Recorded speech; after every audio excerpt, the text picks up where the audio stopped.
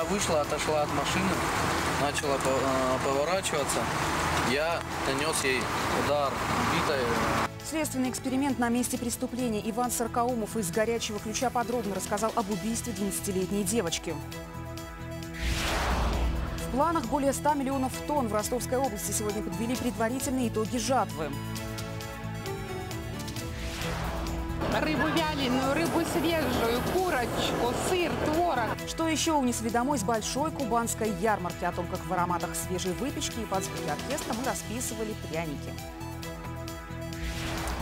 Скоростные смс В Краснодаре один из пассажиров маршрутки снял на видео водителя, который напрочь забыл о правилах безопасности.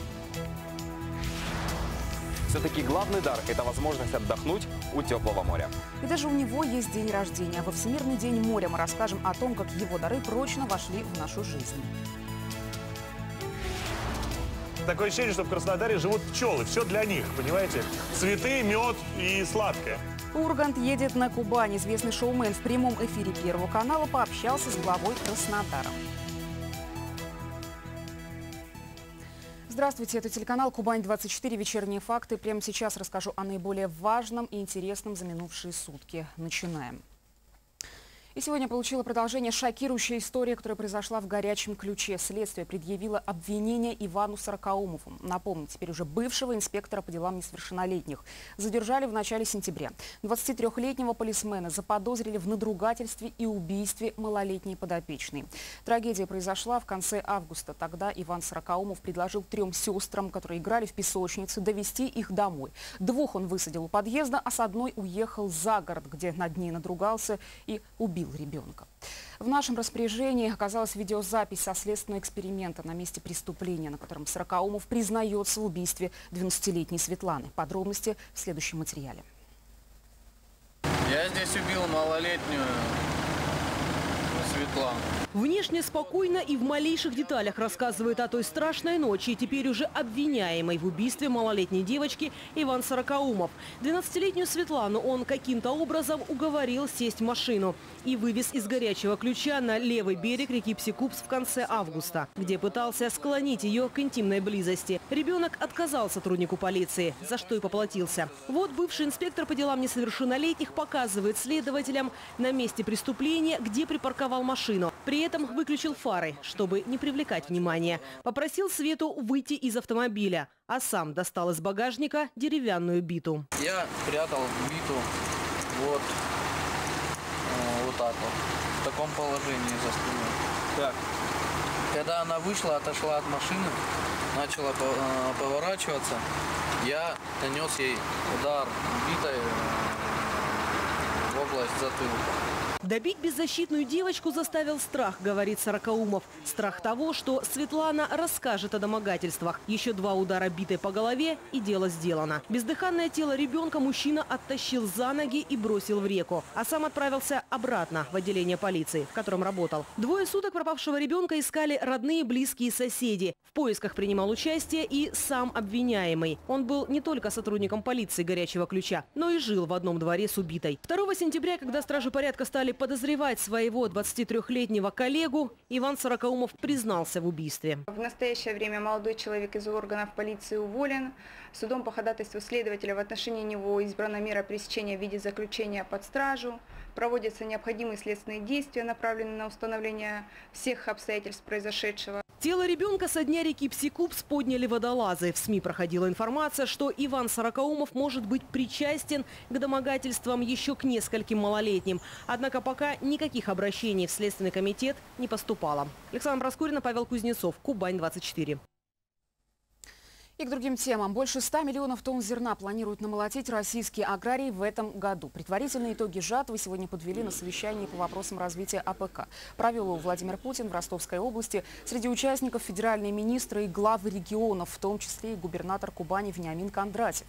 Как отметил президент, собранный урожай зерна, овощей и сои позволит закрыть внутренние потребности страны. По прогнозам, вырастет и производство мяса скота и птицы. Вместе с тем, в этом году почти наполовину снизился объем импорта сельхозпродукции. Путин призывал аграриев страны воспользоваться этой ситуацией. С введением запрета на ввоз продовольствия из ряда стран, отечественный АПК, а мы это- об этом постоянно говорим в последнее время, и, и правильно делаем, что говорим. Это нужно подчеркнуть, нужно, чтобы мы все, все понимали, что у нас появился дополнительные, дополнительные возможности, можем дать дополнительный импульс для роста, для укрепления националь- на национальном рынке наших сельхозпроизводителей. Но хочу сказать то, о чем уже говорил неоднократно. Э, Это окно возможностей когда-нибудь тоже закроется, поэтому нужно, потому что рано или поздно такие рестрикции с- с обеих сторон, они все равно когда-то заканчиваются. Э, Поэтому нужно сейчас воспользоваться этим моментом для того, чтобы твердо встать на своем собственном рынке. По мнению Вениамина Кондратьева, поддерживать сегодня нужно в первую очередь личные подсобные хозяйства и фермерство. Одна из главных задач для руководства края – решить вопрос сбыта сельхозпродукции. Что же касается жатвы этого года, то с кубанских полей уже собрали почти 10 миллионов тонн зерна. Это на 600 тысяч тонн больше, чем в 2014. Ожидают и высокого урожая овощей. Продолжается уборка ягод. Результат уже превысил прошлогодний – почти полтысячи тонн. Сейчас краевые аграрии сеют озимые культуры и готовят почву под урожай 2016 года. Ну а то, чем богаты кубанские аграрии в этом году, можно увидеть на большой кубанской ярмарке. Тонны продукции, прилавки ломятся от яств. В павильонах пахнет копченостями, сдобой и не только. Фермеры привезли колбасы, молоко, выпечку, овощи, всего и не перечислишь. Нашлось место не только для съедобных товаров, но и для домашней живности. С выставки достижений Анастасия Дешина. Открылась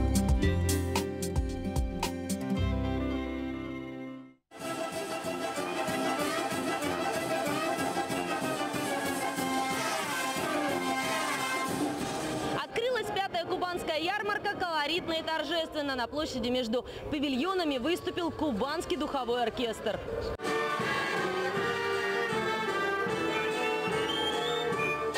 Официальная часть начнется только завтра, но уже сегодня здесь собрались аграрии и производственники со всей Кубани.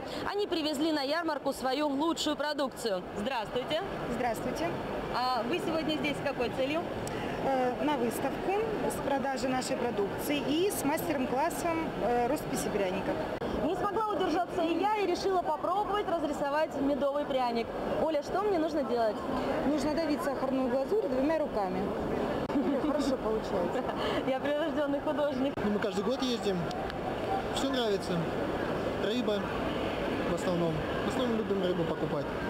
Ну и животноводство, и птицеводство нравится. Вот сало нашли дешевле, селедочку дешевле.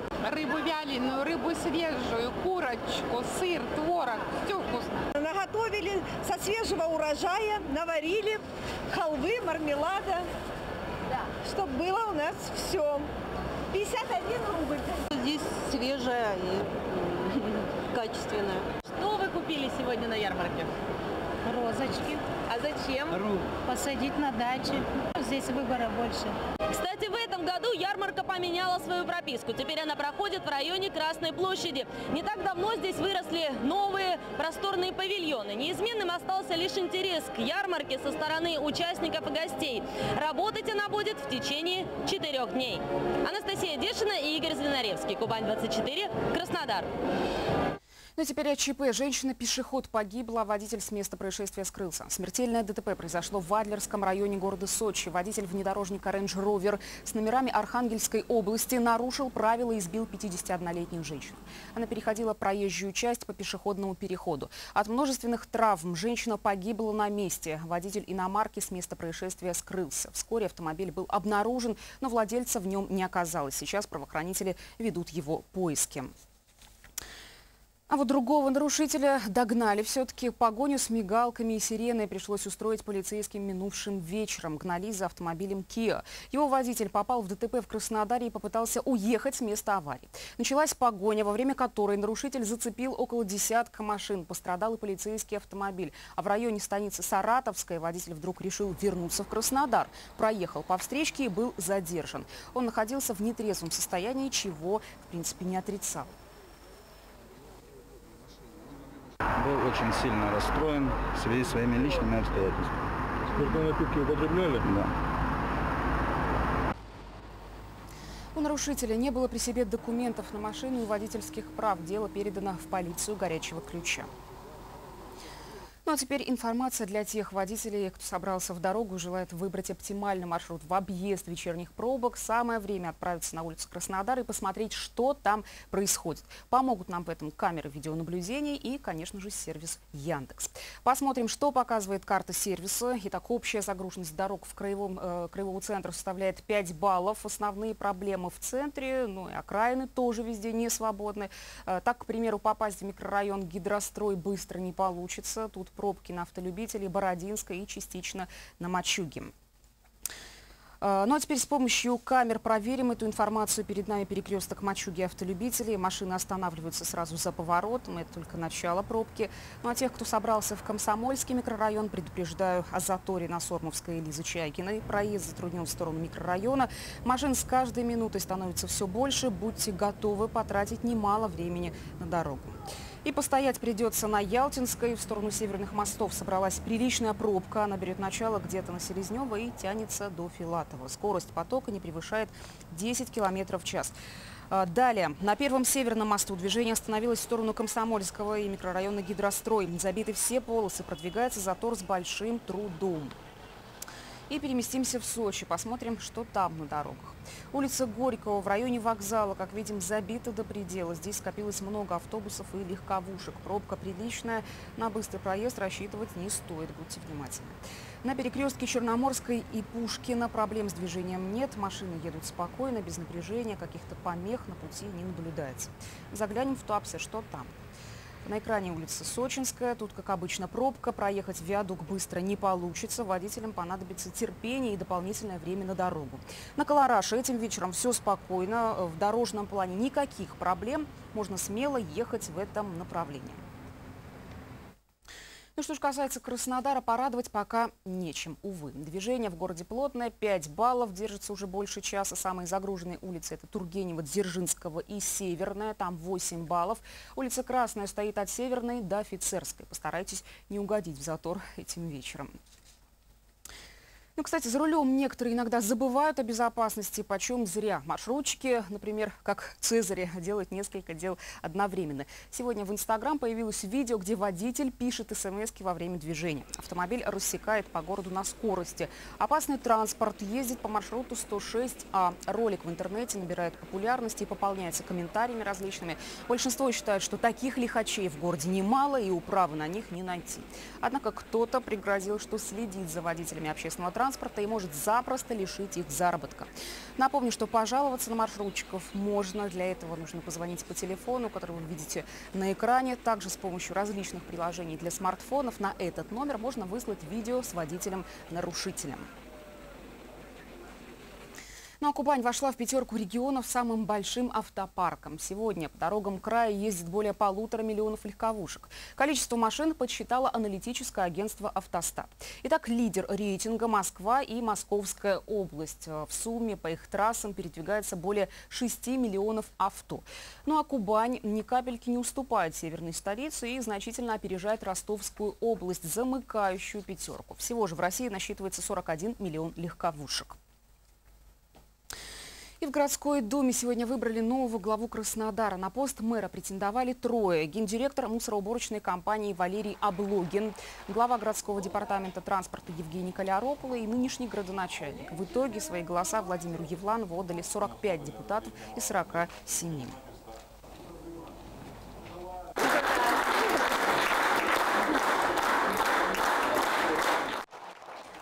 Тут же состоялась инаугурация. Удостоверение мэру Владимиру Евланову вручил вице-губернатор края Владимир Свеженец. Глава Краснодара поблагодарил всех присутствующих и пообещал, что будет делать жизнь города лучше.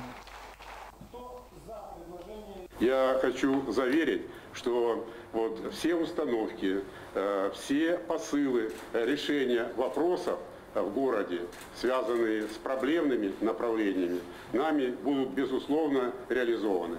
Для этого есть все возможности. Есть профессиональный состав администрации, есть желание работающих. Сегодня на заседании также выбрали председателя городской думы. Второй раз подряд этот пост заняла Вера Галушко. Новый глава и в горячем ключе. Сегодня в должность официально вступил Иван Федоровский. Присягу градоначальник принял на внеочередной сессии местного совета депутатов, который ранее его избрал. Федоровский более трех месяцев исполнял обязанности руководителя. А получая символ власти, градоначальник поблагодарил всех за оказанное доверие и пообещал активизировать работу в муниципалитете по всем направлениям. В церемонии инаугурации участвовали представители краевой администрации и законодательного собрания, а также главы из делегации других районов. Но столица Кубани готовится к своему дню рождения, который отмечают в последние выходные сентября. Около трех тысяч артистов. И это лишь на одной театральной площади. Информация о том, что именно готовят городские власти к этому празднику, немного. Видимо, организаторы хотят сохранить интригу до последнего. Однако мой коллега Павел Кузнецов попытался собрать картину предстоящих торжеств. Ему слово.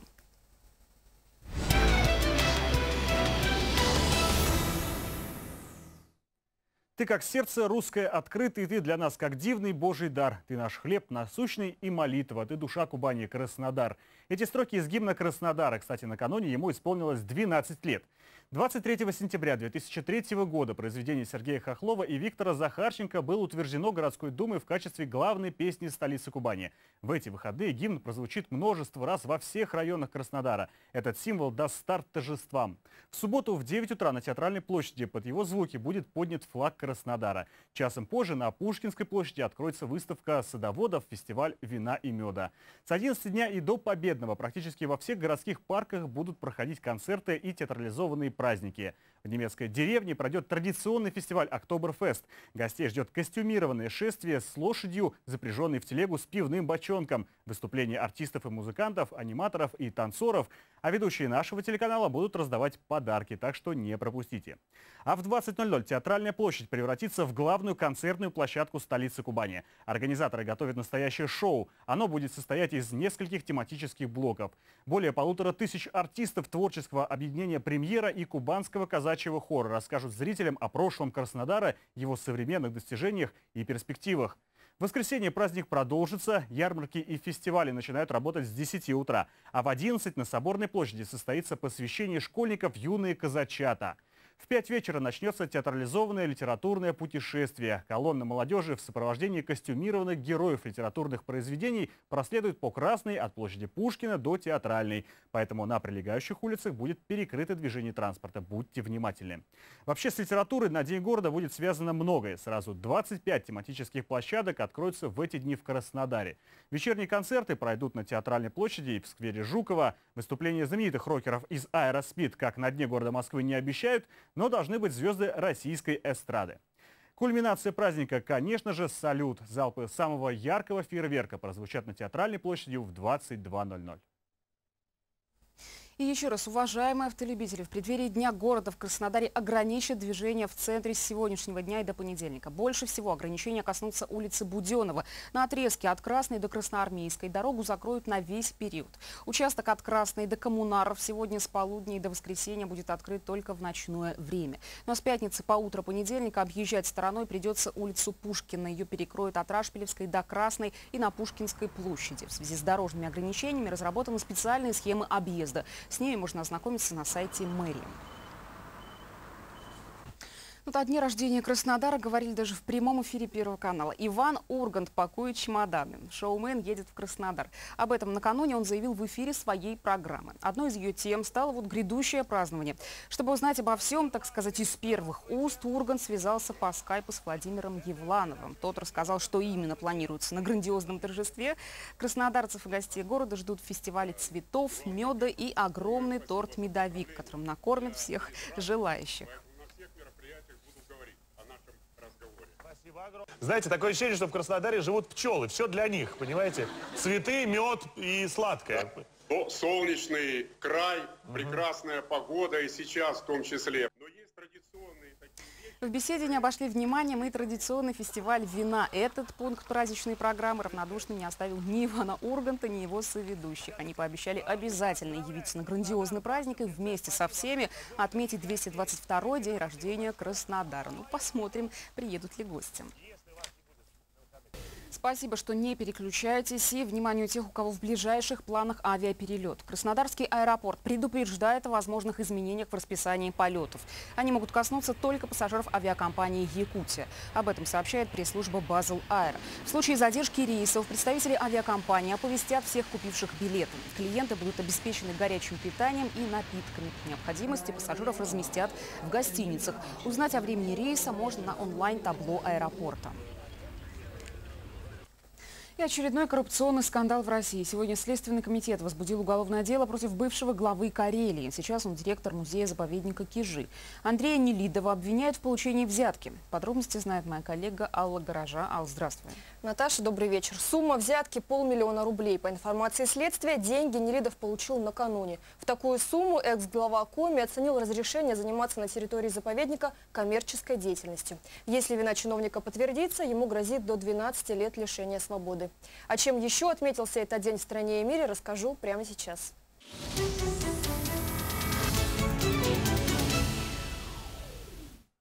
Коррупционный скандал разгорелся и в Италии, но его масштабы гораздо внушительнее. Перед судом там предстанут почти 5 тысяч нечистых на руку политиков и чиновников. Всех обвиняют во взяточничестве, хищениях и злоупотреблении служебным положением. Следователи посчитали, за полгода казна не досчиталась из-за них более 3 миллиардов евро. Но главные новости этого дня приходят с Востока. Сегодня мусульмане всего мира отмечают праздник Курбан-Байрам. И уже по печальной традиции он не обошелся без жертв. Число погибших во время хаджа в Мекке составило как минимум 700 человек. Пострадали 863 мусульманина. Данные, скорее всего, не окончательные. Каждый час поступают новые цифры. На паломничество в священные места прибыли более двух миллионов человек. Возникла давка. А в Йемене во время празднования Курбан-Байрам террористы взорвали мечеть. 29 человек человек погибли, еще несколько десятков получили ранения. Все произошло во время утренней молитвы. Одну бомбу привели в действие внутри здания, вторую у входа. К российским новостям. Около 300 человек пришлось эвакуировать спасателям в Оренбургской области. Там загорелся дом-интернат для престарелых. Площадь пожара составила более 120 квадратных метров. Причем многие пострадавшие – лежачие больные. Сейчас власти решают, где их всех разместить. А на Донбасс прибыла сегодня очередная колонна с гуманитарным грузом. Более 100 машин доставили жителям продукты и медикаменты. Всего более 1200 тонн. Это уже 39-я колонна. Как и прежде, грузы собирали по всей России, в том числе с помощью общественных организаций и профсоюзных объединений.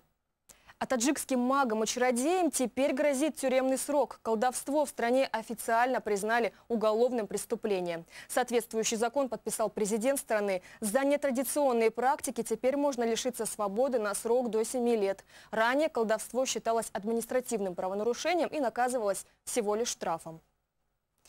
Сегодня юбилей отмечает Лариса Рубальская. Известной писательнице, поэтессе и переводчику исполнилось 70 лет. С ней очень любят работать композиторы, говоря, что у нее легкое перо, простые и мелодичные стихи.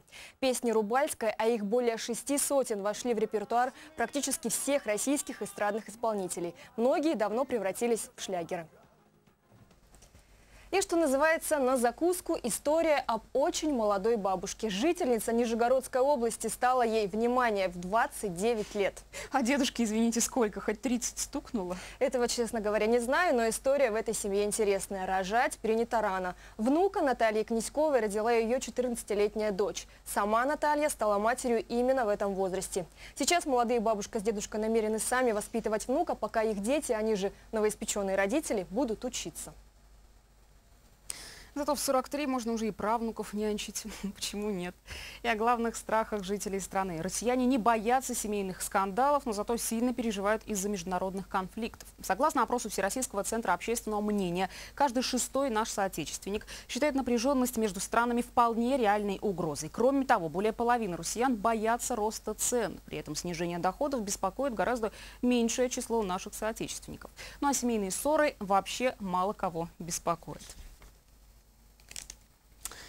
Краевой форум дошкольного образования прошел в Армавире. Педагоги собрались в одном из детских садов города. Воспитателям, которые победили в краевых конкурсах инновационных проектов, вручила дипломы вице-губернатор Анна Минькова. На встрече каждый садик края предлагал свою особенную программу развития дошкольного образования. Из них выбрали самые прогрессивные идеи. В этом году 60 воспитателей и полсотни детских садов поощрены денежной премией в 50 тысяч рублей. Еще 10 учреждений победителей вручили гранты в 750 тысяч. Совместная работа всех педагогов. Мы уже много лет работаем по этой теме, прививаем любовь к Кубани, к родной малой родине.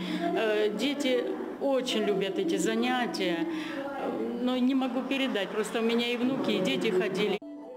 Подобные форумы проводятся не во всех регионах России, но, по словам участников, они имеют огромное значение для развития организации дошкольного образования. Эти форумы нужны, потому что это в первую очередь площадка для общения. Такие площадки нужно создавать и не жалеть для этого денег.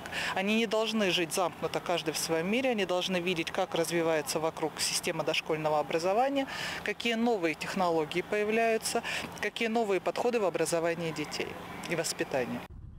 После торжественной части вице-губернатора посетила один из самых крупных детских садов Армавира. Строительство его только что завершилось и завтра состоится открытие. Он примет более 300 малышей. Анна Минькова отметила, что образовательный процесс в нашем регионе организован на высоком уровне. Главной проблемой пока остается очередь в детские сады. Ее сейчас решают во всех районах и городах края. Этот вопрос на особом контроле у краевых властей. И как защититься от вирусов в холодное время года? Самый надежный способ профилактики, по словам медиков, это вакцинация. Прививку от гриппа сегодня сделал министр здравоохранения Краснодарского края Евгений Филиппов. Он отметил, что в обществе нужно воспитывать культуру вакцинации.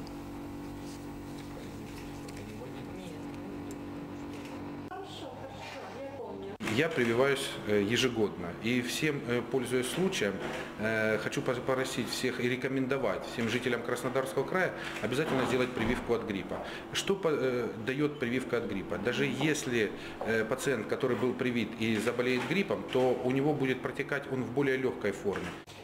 Состав вакцины специалисты ежегодно обновляют, ориентируясь на то, какие штаммы преобладают в мире. Добавлю, прививать от болезни можно детей шестимесячного возраста. Для них, а также для школьников, студентов, беременных и людей старше 60, эта процедура абсолютно бесплатна. В эту категорию входят работники сфер образования, медицины и обслуживания. Сделать прививку против гриппа в нашем крае можно до ноября. Ну и далее. Черное, Каспийское, Баренцево, Средиземное. Море, пожалуй, одно из самых излюбленных мест отдыха для человека. Кстати, давно ли вы там были?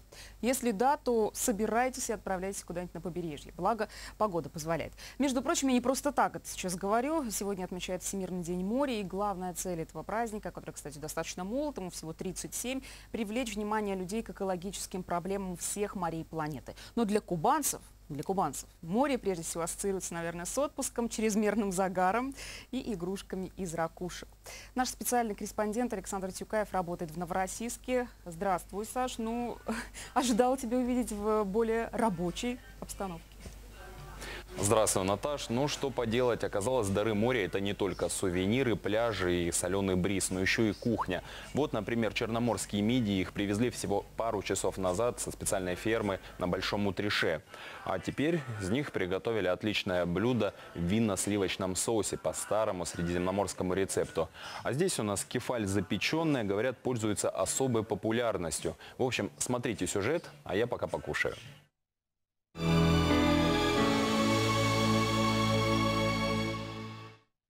Устричный суп, кефаль по сырному суфле, рыбное рагу. В меню кубанских ресторанов, оказывается, можно найти десятки блюд из местных даров моря.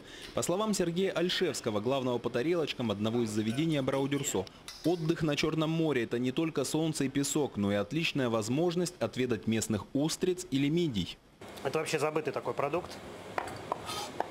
Раньше его готовили просто на кострах, а сейчас из них можно сделать очень много разных блюд супы, запеченные, салаты. Очень вкусная паста с черноморскими мидиями получается. В ход у местных поваров идет все, чем богато море. Кефаль, камбала, знаменитая барабулька, устрицы и даже рапаны. Главное преимущество местного продукта – его свежесть. На разделочную доску к повару рыба попадает через каких-то пару часов после вылова.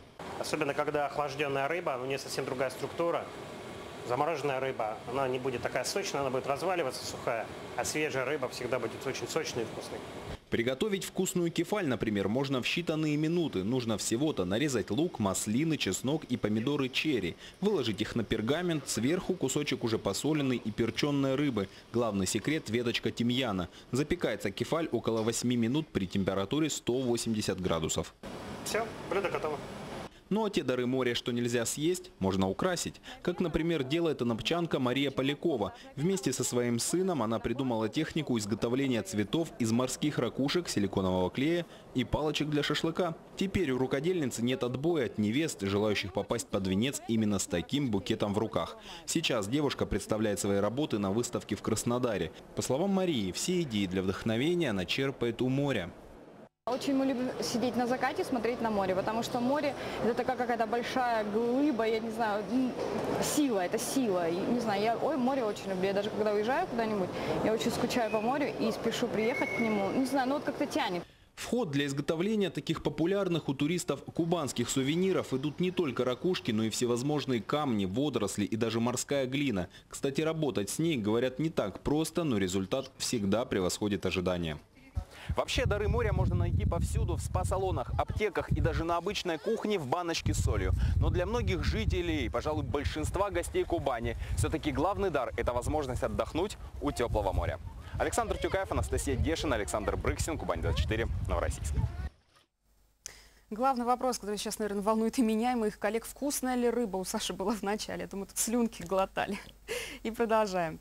Накануне Дня города в центре Краснодара откроется жилой комплекс «Центральный». Это подарок Черноморской финансовой компании и ее партнеров ко дню рождения кубанской столицы. Дом бизнес-класса современным архитектурным ансамблем занимает целый квартал.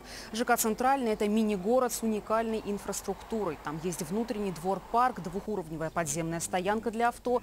На первых двух этажах расположились 50 магазинов и сервисов. Завтра, в день открытия жилого комплекса, рядом с домом будет заложено основание памятника генерал-лейтенанту Григорию Рашпилю, начальнику штаба Черноморского казачьего войска.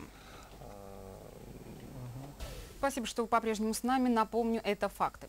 Сразу три кубанских города попали в десятку самых популярных мест у иностранных туристов в России. Помимо Москвы и Санкт-Петербурга, гости из-за границы мечтают попасть в Сочи, Адлер и Краснодар. Исследование провели аналитики известного сервиса бронирования в отелях. Сочи находится на шестом месте рейтинга, Адлер и Краснодар расположились на девятой и десятой строчках. Многие иностранцы хотят увидеть своими глазами те места, где прошла самая успешная в истории зимняя Олимпиада. А Краснодар привлекает гостей недорогой стоимостью проживания в гостиницах. Кандидатуру Николая Далуды казаки вновь выдвинули в атаманы кубанского казачьего войска. Сегодня в Крымском районе прошел выездной совет атаманов. В ноябре заканчивается срок полномочий Далуды в этой должности. Тогда же и пройдет отчетно-выборный сбор. Николай Далуда, атаман кубанского войска с 2007 года. За эти 8 лет было сделано многое, поэтому решение казаков было единогласным. Участие в совете приняли более 600 человек. Я менять ничего не хочу. Я хочу наоборот, чтобы войско прибавляло.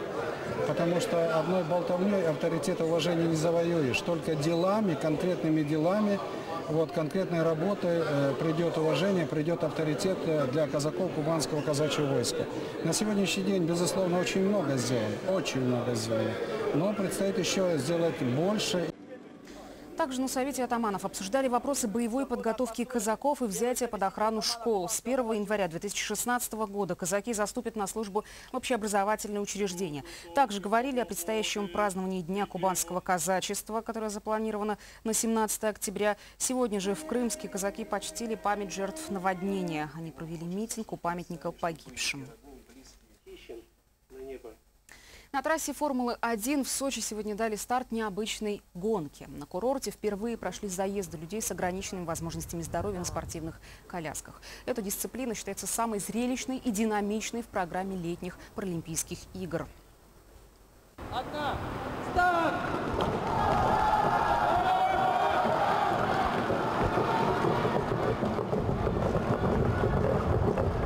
Я сама занимаюсь где-то около четырех месяцев. Это моя первая такая серьезная гонка. Мне помогает моя команда, которая очень сильно поддерживает меня, подбадривает, э, мои родители. Вот. А также надеюсь я на то, что просто добегу. На победу я пока не рассчитываю. Соревнованиях участвовали 23 спортсмена. Это паралимпийская сборная России. Также в Сочи приехали атлеты из Германии и Испании. Гонка прошла на дистанции полумарафона. Победителем среди мужчин стал представитель Германии, а в женских заездах лучшей была россиянка Наталья Кочерова. Ну, кстати, погода в Сочи сегодня установила рекорд. Столбик термометра поднялся до 31 градуса. Так тепло на курорте в сентябре еще никогда не было. Исторический максимум превышен почти на целый градус. Из-за аномальной температуры в горах курорта сейчас тепло, э, снега практически нет. Ну а между тем, год назад высота снежного покрова на вершине хребта Аибга составила 7 сантиметров.